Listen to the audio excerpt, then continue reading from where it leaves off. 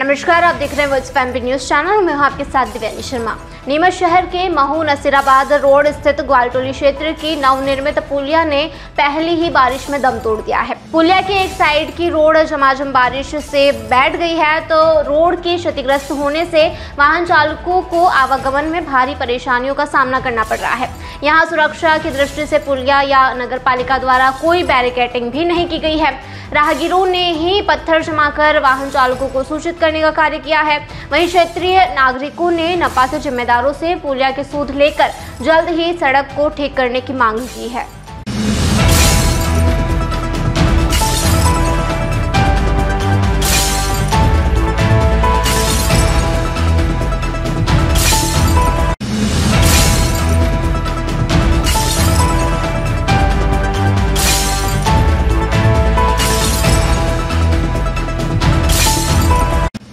ये था अब तक का अपडेट। लगातार ऐसी तमाम जानकारी अपडेट्स के लिए बने रहिए वॉइस ऑफ़ एमपी के साथ।